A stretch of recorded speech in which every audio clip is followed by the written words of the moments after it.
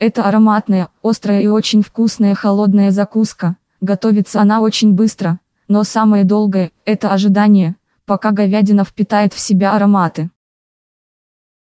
Мясо по-осетински приготовить дома очень легко, вы можете заменить говядину бараниной или курицей, кинзу нельзя ничем заменить, ибо она придает именно тот вкус, который и нужен этой закуске.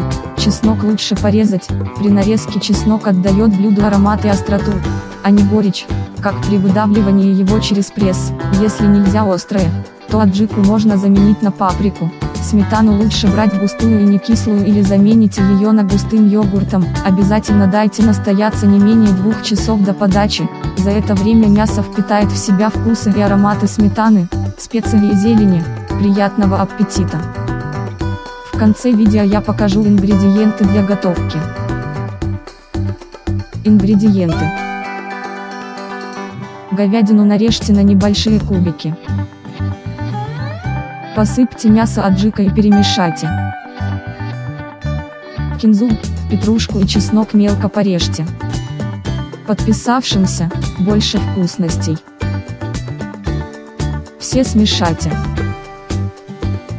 Добавьте сметану, перемешайте и поставьте в холодильник, чтобы закуска настоялась в течение двух часов. Приятного аппетита! Кто не подпишется, останется без следующих вкусностей. Необходимые ингредиенты.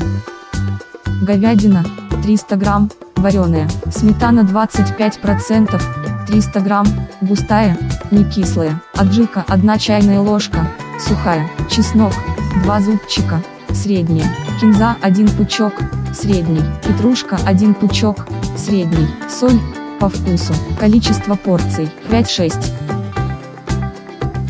Если вам нравится мое видео и вы хотите отблагодарить меня, то ставьте палец вверх, если нет, то палец вниз.